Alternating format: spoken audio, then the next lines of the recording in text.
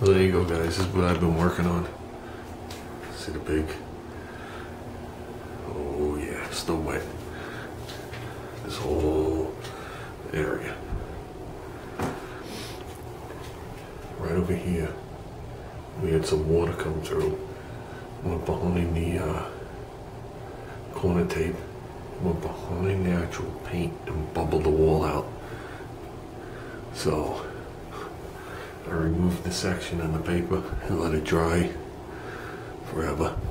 And I pulled the whole tape off. Okay?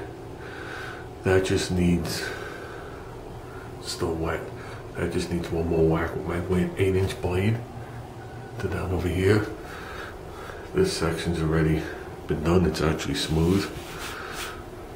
But we will give it a very light sand.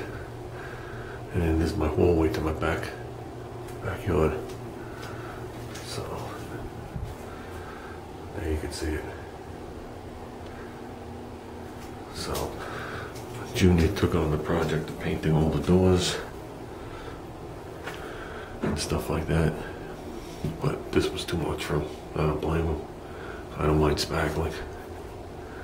So that's what I've been working on. And for some reason I just realized I'm missing a light bulb. Why it's dark over here. so we'll button this up tomorrow. And uh, very light sand in the crack. We should be good. We'll do this wall and the ceiling over. We'll cut it into the wall behind us. And I'll do the little strip above the door.